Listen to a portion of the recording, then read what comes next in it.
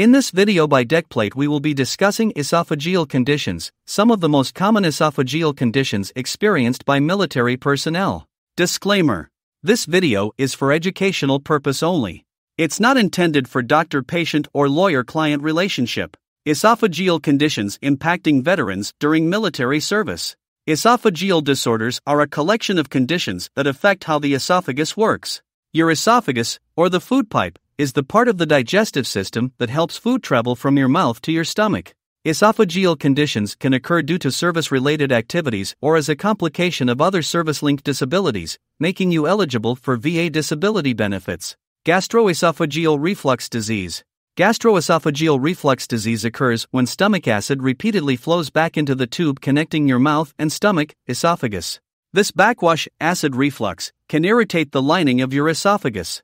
Many veterans experience acid reflux from time to time. However, when acid reflux happens repeatedly over time, it can cause gastroesophageal reflux disease. Causes of gastroesophageal reflux disease. Gastroesophageal reflux disease is caused by frequent acid reflux or reflux of non acidic content from the stomach. When you swallow, a circular band of muscle around the bottom of your esophagus, lower esophageal sphincter, relaxes to allow food and liquid to flow into your stomach.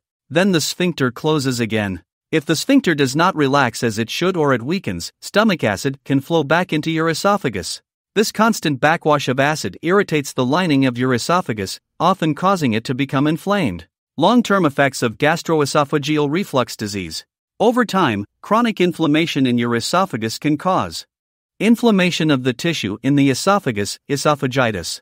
Stomach acid can break down tissue in the esophagus, causing inflammation, bleeding, and sometimes an open sore, ulcer. Esophagitis can cause pain and make swallowing difficult. Narrowing of the esophagus, esophageal stricture. Damage to the lower esophagus from stomach acid causes scar tissue to form. The scar tissue narrows the food pathway, leading to problems with swallowing. Precancerous changes to the esophagus, Barrett esophagus. Damage from acid can cause changes in the tissue lining the lower esophagus. These changes are associated with an increased risk of esophageal cancer. Diagnosis of gastroesophageal reflux disease.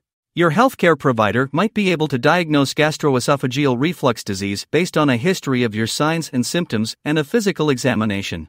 To confirm a diagnosis of gastroesophageal reflux disease, or to check for complications, your doctor might recommend upper endoscopy. Your doctor inserts a thin, flexible tube equipped with a light and camera, endoscope, down your throat. The endoscope helps your provider see inside your esophagus and stomach.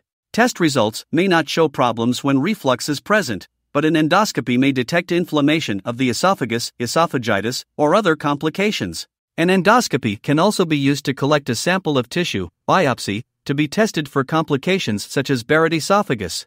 In some instances, if a narrowing is seen in the esophagus, it can be stretched or dilated during this procedure. This is done to improve trouble swallowing, dysphagia. Ambulatory acid, pH, probe test, a monitor is placed in your esophagus to identify when, and for how long, stomach acid regurgitates there. The monitor connects to a small computer that you wear around your waist or with a strap over your shoulder. The monitor might be a thin, flexible tube catheter that's threaded through your nose into your esophagus. Or it might be a clip that's placed in your esophagus during an endoscopy. The clip passes into your stool after about two days. X ray of the upper digestive system, X rays are taken after you drink a chalky liquid that coats and fills the inside lining of your digestive tract. The coating allows your doctor to see a silhouette of your esophagus and stomach. This is particularly useful for people who are having trouble swallowing. You may also be asked to swallow a barium pill that can help diagnose a narrowing of the esophagus that may interfere with swallowing. Esophageal manometry this test measures the rhythmic muscle contractions in your esophagus when you swallow. Esophageal manometry also measures the coordination and force exerted by the muscles of your esophagus. This is typically done in people who have trouble swallowing. Transnasal esophagoscopy this test is done to look for any damage in your esophagus. A thin, flexible tube with a video camera is put through your nose and moved down your throat into the esophagus. The camera sends pictures to a video screen. Hiatal hernia A hiatal hernia occurs when the top of your stomach pushes up through an opening in your diaphragm into your chest. Your diaphragm is the muscle barrier that separates your abdominal cavity from your chest cavity.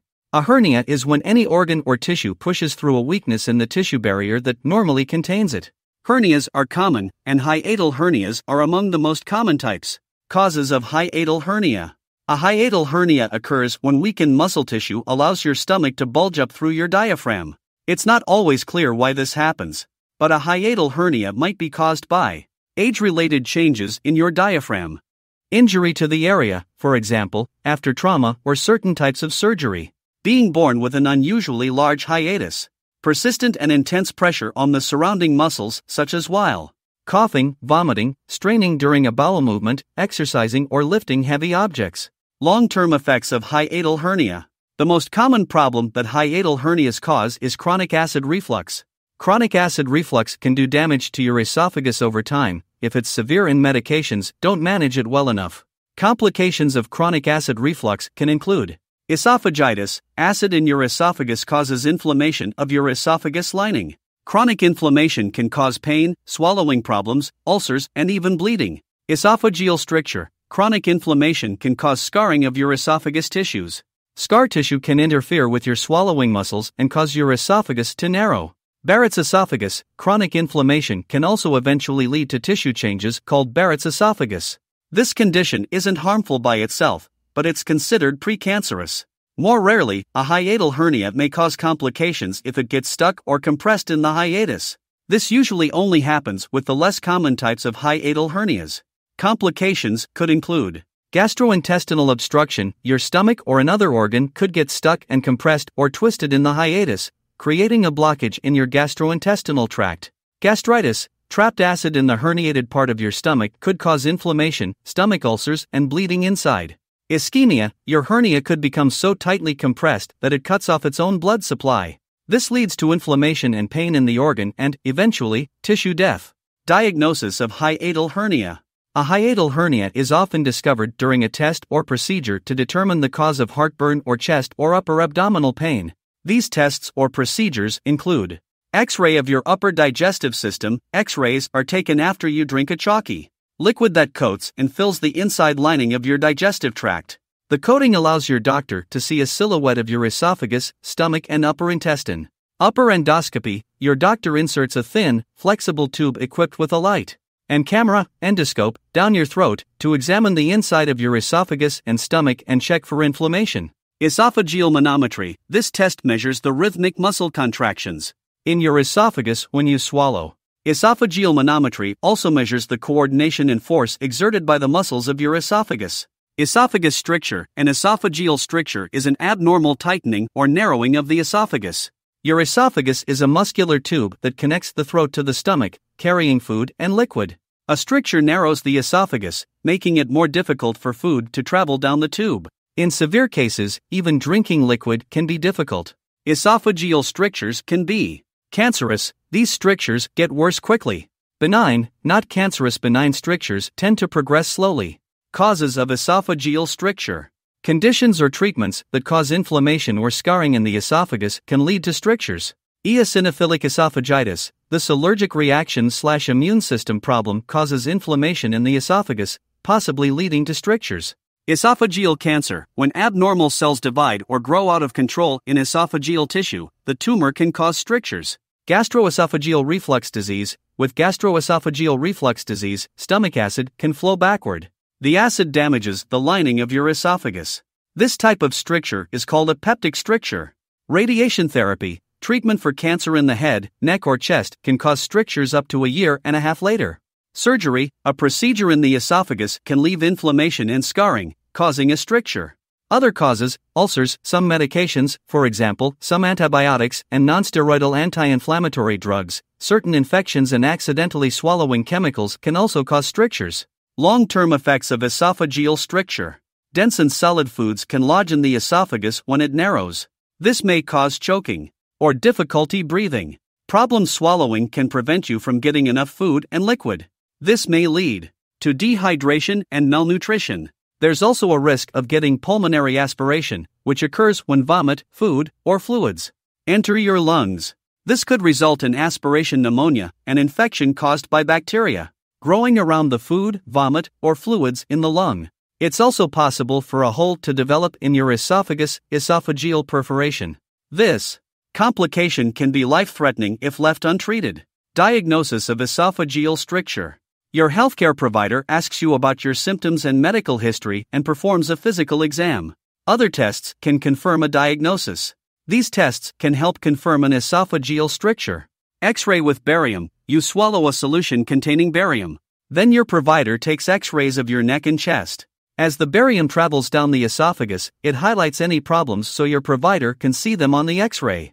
Ultrasound, detailed images can measure how thick the esophageal wall has become, which shows how much it is narrowing the esophagus. Endoscopy A healthcare provider inserts an endoscope into your mouth and down your throat. The tool is a thin and flexible tube with a light and camera at the end. The healthcare provider can examine your esophagus. If needed, your provider can take a small piece of tissue to be tested for cancer, biopsy. Esophageal manometry this test examines the esophageal muscles and sphincter. A small catheter tube is inserted into the nose and into the esophagus. This catheter measures the muscle and valve function of the esophagus during the swallow. Esophagus spasm esophageal spasms are painful contractions within the muscular tube connecting your mouth and stomach. This tube is called the esophagus. Esophageal spasms can feel like sudden, severe chest pain that lasts from a few minutes to hours. Causes of esophagus spasm. It's not clear what causes esophageal spasms. However, they appear to be related to atypical functioning of nerves that control the muscles you use when you swallow. A healthy esophagus usually moves food into your stomach through a series of coordinated muscle contractions.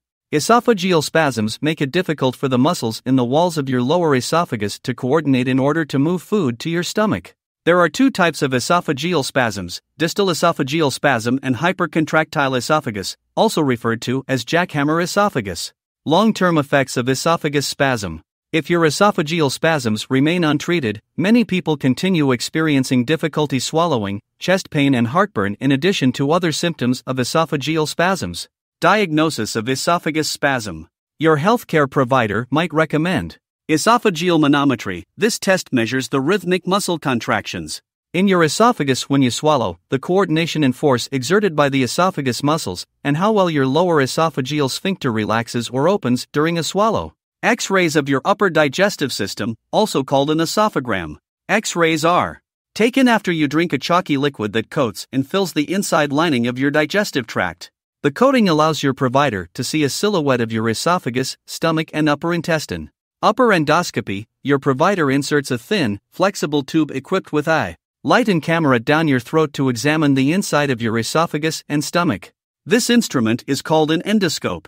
Endoscopy also can be used to collect a sample of tissue to be tested for other esophageal diseases. This tissue sample is known as a biopsy. If you were discharged veteran from US military and looking for the compensation you can get for the esophageal conditions, please check out our other video on esophageal conditions with compensation rating. Thank you for watching our video. Please don't forget to subscribe and like our videos.